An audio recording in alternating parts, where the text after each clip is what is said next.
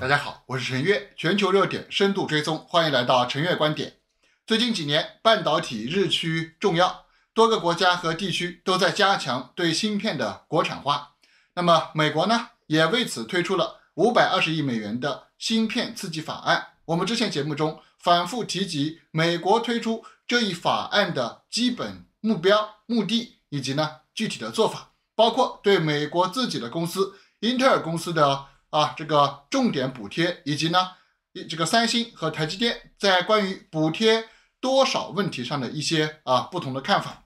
那么，英特尔等公司也陆续宣布要投资上千亿美元，重新建设先进的半导体工厂。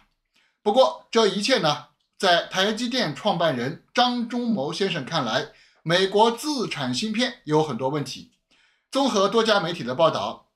已经退休的。台积电创始人张忠谋先生在日前的一次活动上谈到了美国重振半导体制造的问题。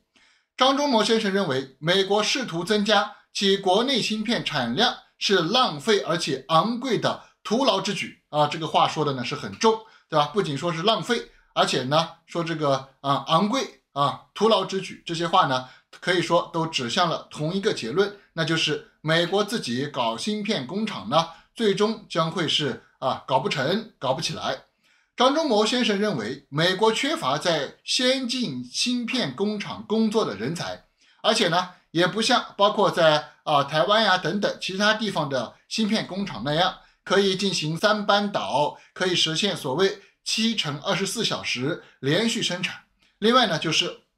美国它无法在成本上来获得竞争优势。在美国制造芯片的成本呢，比在其他地方要高很多。那么张忠谋先生特别以在台湾的工厂来举例，那么美国的制造成本要比在台湾的制造成本高百分之五十。虽然美国现在推出了巨额资金来补贴半导体产业，但是我们也都知道，任何一个产业长期的发展呢，绝对不是靠补贴就能够形成自己的竞争力。即便在现有情况之下。很多工厂出于拿到补贴这一诉求，对吧？那么平摊到它的成本之中，也许还能维系。但是工厂的生产如此巨大规模的投资，很多都要生产十年、二十年甚至更长的时间。那么你的这个补贴一年两年还能够坚持，长期搞下去的话，难道美国政府会一直给钱来补贴这些工厂吗？难道在美国换了领导人之后啊，不要说什么几年之后，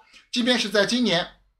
年底的啊，所谓美国中期选举，如果共和党控制了国会，恐怕拜登的一系列的雄心勃勃的计划都会面临重大的打击，所以变数是非常之多。另外呢，我们也看到这个张忠谋先生在对外的这个表态当中，也提到了美国半导体行业的一些优势。啊，特别提及美国在芯片设计领域呢是非常的突出。实际上，在过去的全球化，按照经济科技全球分工、全球协作这一个重要的理念指引之下，已经形成了区域优势啊。那么，美国呢的的确确在基础科研、在芯片设计领域呢有它独到之处。那么，亚洲啊，特别是东亚地区呢，形成大量的先进制造。啊，先进的这个工厂，还有呢一整套的制先进的制造工艺，以及掌握知识、有技能又吃苦耐劳的先进的这个啊劳工的生产效率啊等等，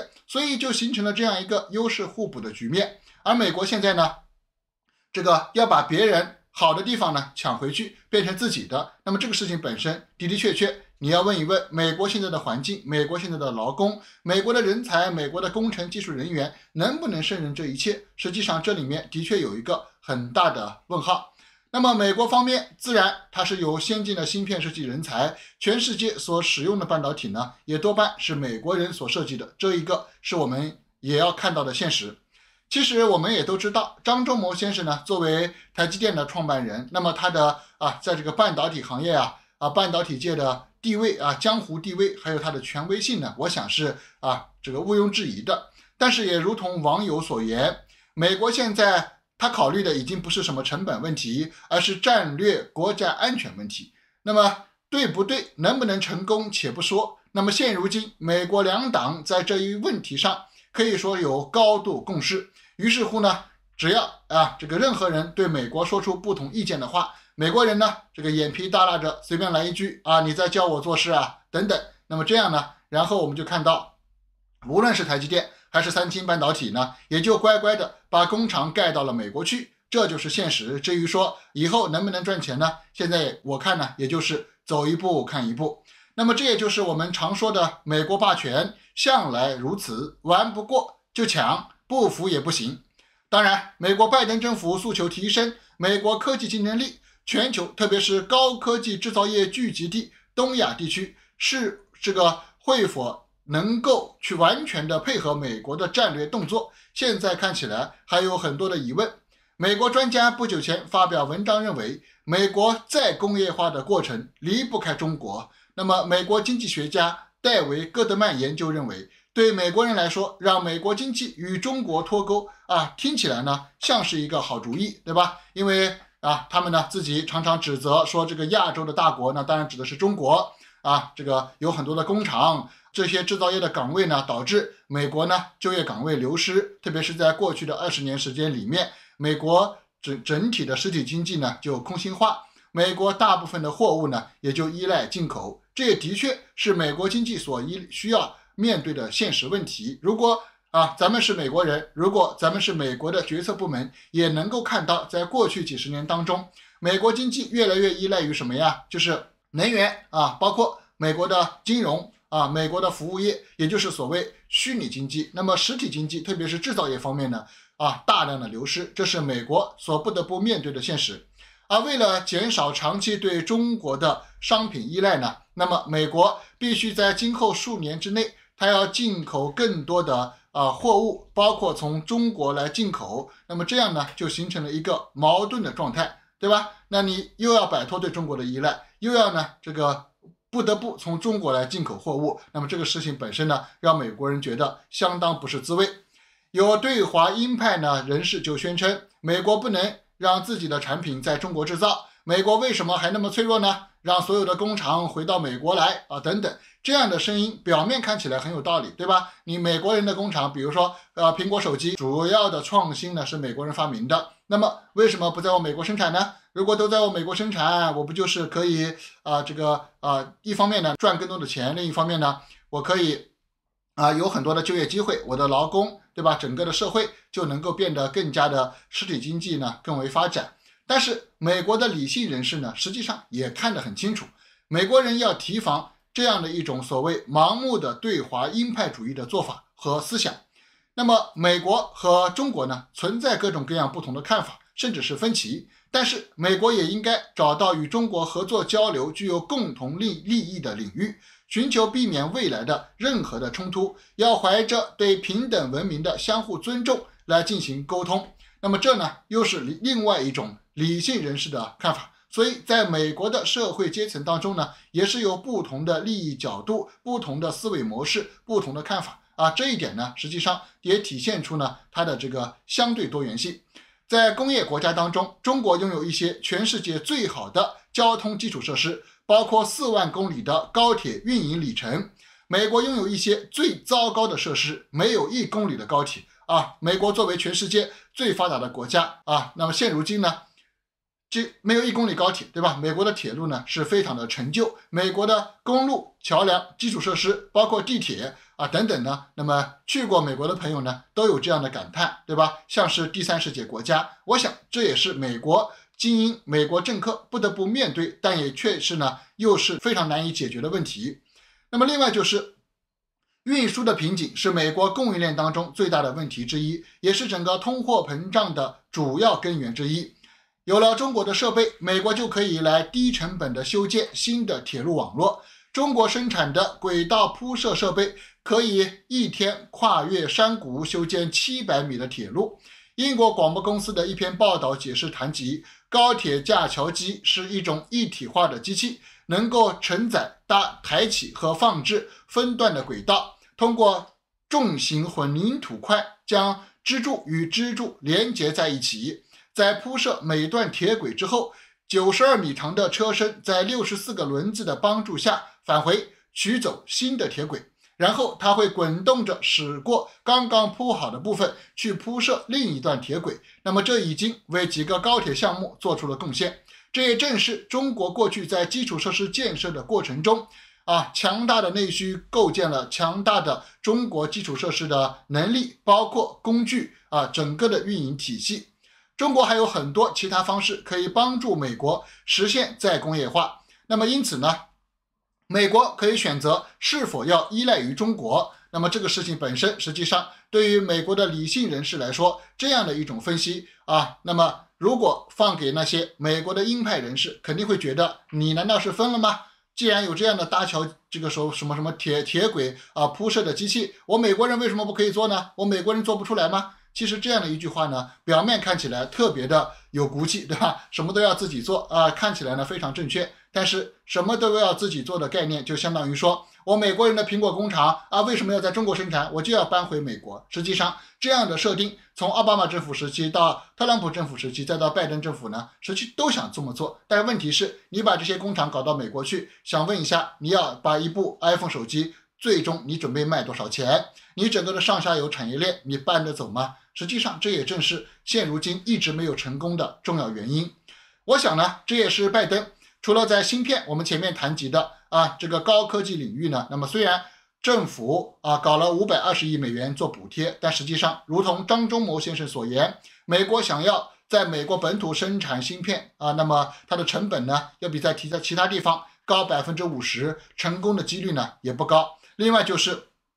如此雄心勃勃的所谓基础设施投资以及再工业化所面临的就是另外一个困境。况且我们可以肯定的说，现在的拜登政府所面临的困境还远远不止啊提升美国竞争力这一项，也不是现在动不动就建筑报端的什么俄乌冲突，而是美国自身的经济问题，也就是最近老生常谈的美国通货膨胀问题。过去呢，美国克林顿在竞选时期呢就说过一句很有名的话，那就是“笨蛋，问题在经济”。也就是说，普通老百姓才不管那么多啊，这个国际大道理，对不对？我的日子过得怎么样？我的荷包里啊，我的钱包里啊有没有钱？或者说，我有同样的钱，我还能不能下个月跟这个月买一样多的东西？也就是说，你每个月的商品通货膨胀涨价的问题，这才是啊老百姓最为关心的。而就在全美国通货膨胀数据连续数月创下新高之后，我们看到美国白宫方面再度放风，说考虑降低对华关税。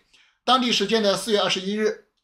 美国白宫主管国际经济事务的副国安顾问戴利普辛格在一场公开活动上表示，特朗普政府征收的关税或许给政府提供了一些谈判筹码，但这些这种做法呢，并没有实现。战略目的，也就是说，我们之前节目中反复谈及的对美国的伤害啊，远远大于对中国的伤害。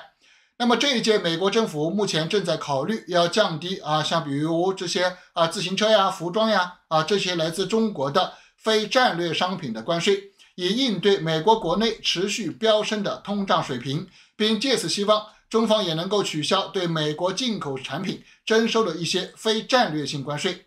从二月份冲上百分之七点九的高位之后，美国三月份通胀数据再创新高，四十年来首次突破了八这个数数据。美国三月份消费价格指数 CPI 同比增长百分之八点五，这也是美国 CPI 连续六个月超过百分之六。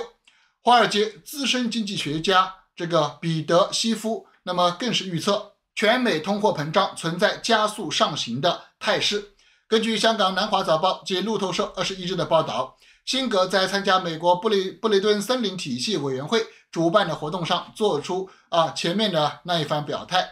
布雷顿森林体系委员会是一个总部位于美国华盛顿的无党派非营利性组织，由美国前财政部部长和副部长在一九八三年创立。辛格在讲话中指出，特朗普政府征收的关税尽管可能创造了一些谈判筹码筹码。但是呢，却没有实现任何的战略性目标，而且中国也对此采取了反制性的措施。那么这就是美国的机会啊！但实际上呢，我也没看到这个现如今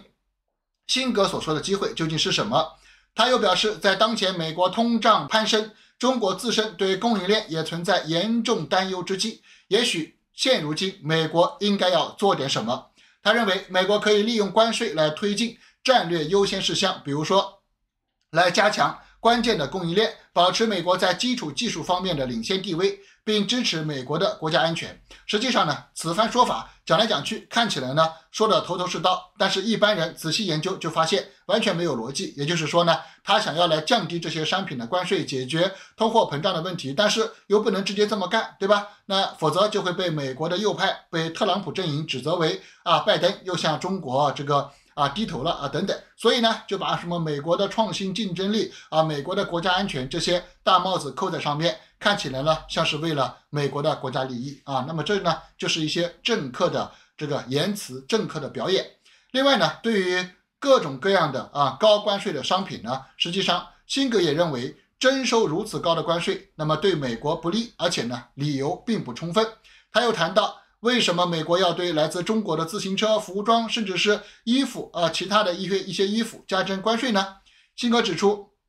如果美国方面做出这样的安排，中国也可以采取行动，取消对美国进口产品征收的一些非战略性关税。同时，辛格还表示，中国希望获得在经济和科技上的领先地位，这本身未必是一件坏事啊！力争上游的潜力可能会激发自主创新。公共投资和劳动力的投入，那么这样的一种说法呢，显然是在给自己呢找一个台阶下。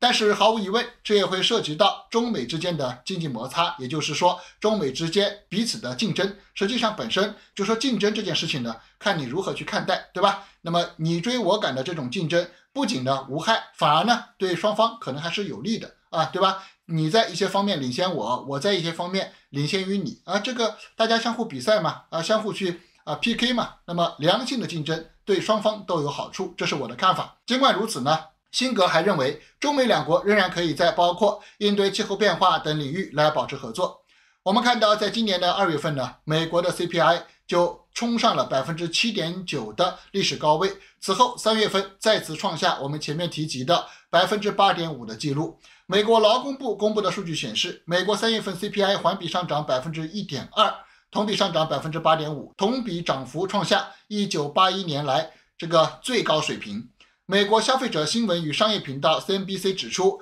这一数据高于道琼斯百分之八点四的预期，也意味着美国已经出现过去四十年来从未有过的物价上涨的水平。这样的通货膨胀水平已经是美国 CPI 连续六个月超过百分之六。在此背景之下呢，那么今年的三月二十三日，美国贸易代表办公室发表公告称。针对三零一条款对华加征的关税当中，已经恢复部分中国进口商品的关税豁免，而此次关税豁免涉及此前五百四十九项待定商品中的三百五十二项。中国商务部发言人对此回应说：“美国的这次豁免做法有助于恢复相关产品的正常贸易，希望美国方面从中美两国消费者和生产者的根本利益出发，尽快取消全部对华加征的关税。”来推动双边经贸关系早日回到正常轨道。不过，美国政府并未放弃就贸易问题对华施压。美国贸易代表戴奇此前在接受采访时指出，美国不会袖手旁观，将以更为积极的态度向世界第二大经济体中国施压，要求改变美国所谓扭曲市场贸易的做法。那么，戴奇还声称，美国准备采取一种新的对华贸易政策。通过更新的、更为有效的措施来捍卫自身的经济利益，更好的与中国竞争。那实际上呢，他并没有透露任何的具体细节。我想呢，不是他不想透露，恐怕连戴奇本人都不知道他所说的啊更新版本的对华经济策略，更好维护美国国家利益的方法究竟是什么。也许这只是他的一个为自己创造出的一个楼梯啊，一个台阶往下走罢了。那么紧接着我们看到。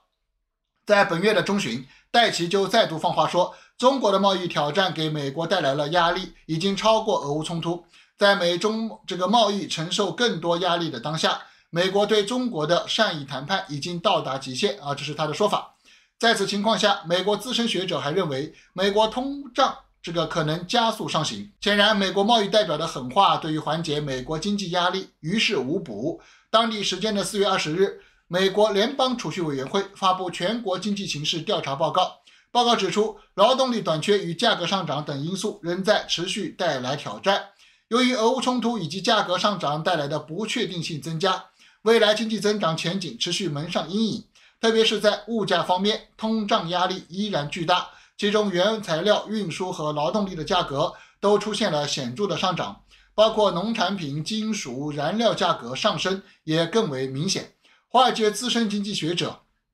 彼得·西夫表示，尽管有部分市场分析师认为美国的通胀已经见顶，但这个从三月份的数据啊，包括后续的实际情况来看，恐怕并非如此。那么，美国的通货膨胀水平恐怕会进一步的加速上行。同时，他认为三月份核心 CPI 环比增长百分之零点三，低于预期的百分之零点五，但这仍然是一个较高的数据。如果按照年率来算，CPI 仍然为百分之三点七，几乎是美联储百分之二目标的两倍。CPI 可以剥离食物和能源，但家庭并不能。食品和能源价格同比大幅上涨，并不是一次性的波动，而是一个长期的趋势。这个重重的压力之下，美联储主席鲍威尔当地时间四月二十一日暗示，美国可能会加快加息的步伐。那么在此情况之下呢，我们也看到鲍威尔在参加国际货币基金组织关于全球经济的小组讨论时特别坦诚，那么确实指向了加息五十个基点的方向。当然。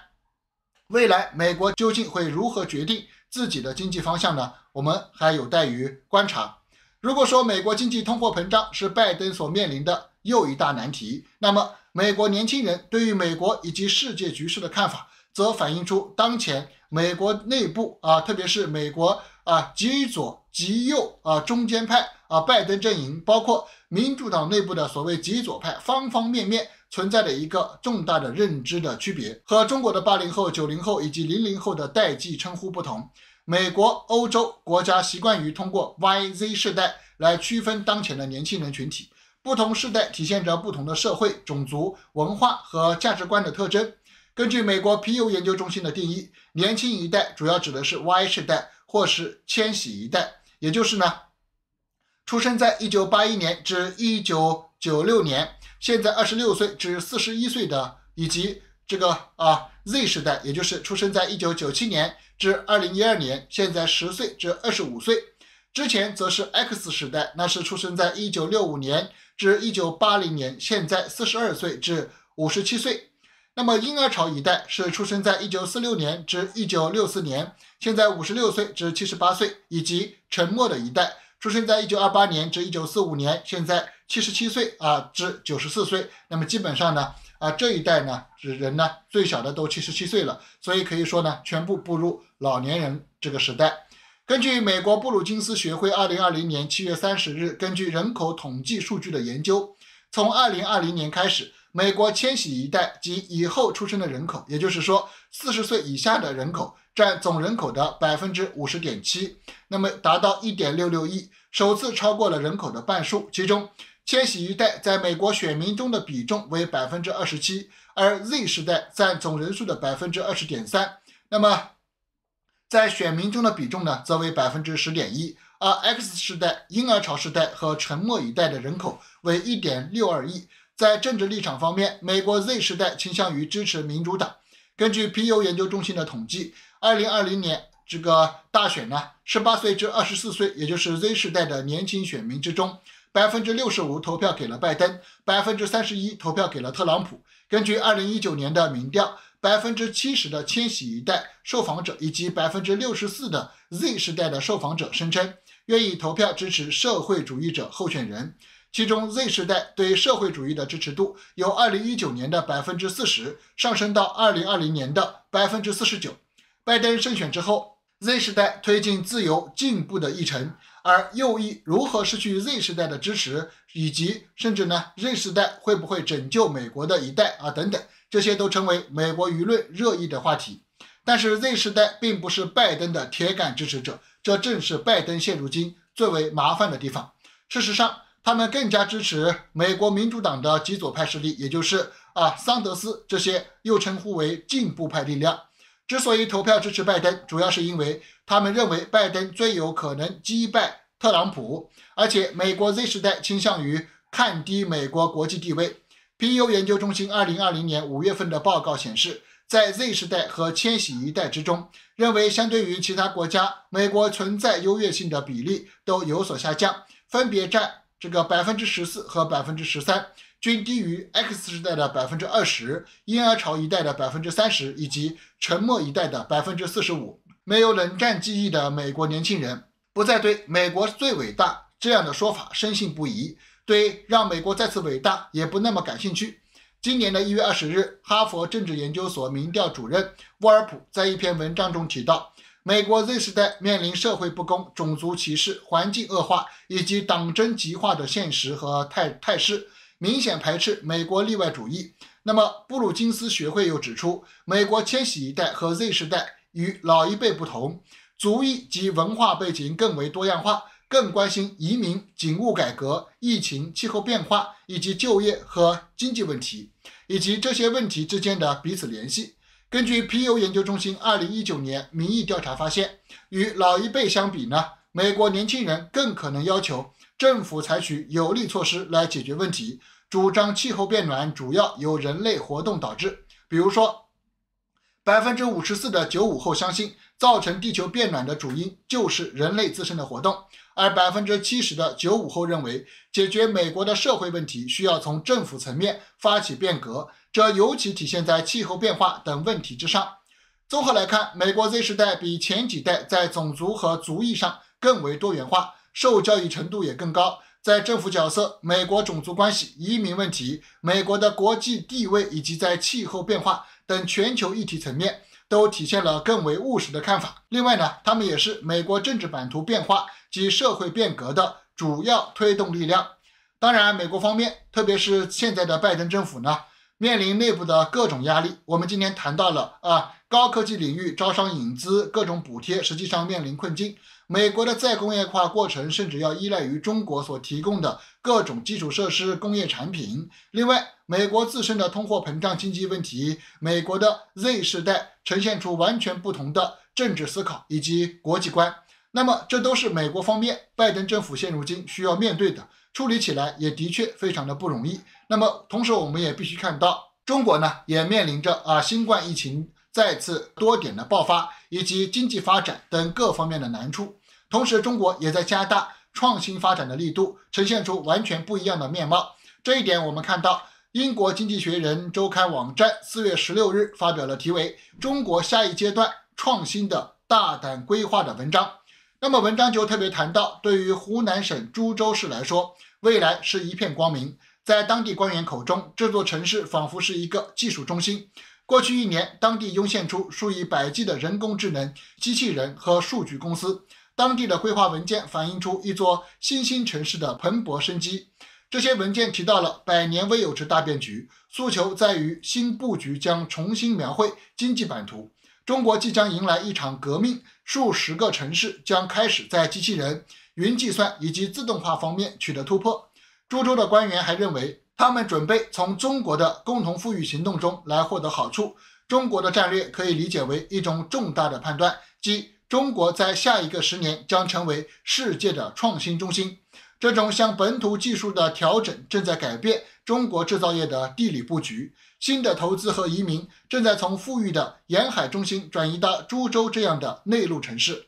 第二个特点是新技术企业数量前所未有的增长。那么，政府正在数据科学、网络安全、机器人等等领域培育成千上万大大小小的组织。过去，中国领导人的改革重点是沿海城市，那里的制成品可以很容易的到达港口。这种情况在过去两年里迅速的改变。中国正在将经济重新转向为啊核心的制造业。在二零二一年公布的第十四个五年规划之中。政府明确表示，重心从消费、互联网科技，也就是软科技上转移。他特别强调的是，在硬科技上，也就是在人工智能、半导体、工业软件以及大数据处理等等领域，要实现迅速发展。新的产业政策并不要求靠近港口。现在新的形势是新一轮的内陆移民潮的来临。法国巴黎银行的罗志指出，这些努力可能重新绘制中国的经济版图。对制造业的强调，